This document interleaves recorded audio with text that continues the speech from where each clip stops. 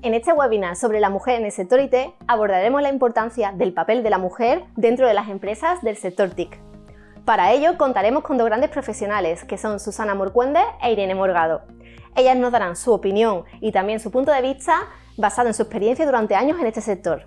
Trataremos también otros temas como son el techo de cristal, el síndrome del impostor o la conciliación familiar. No te lo pierdas.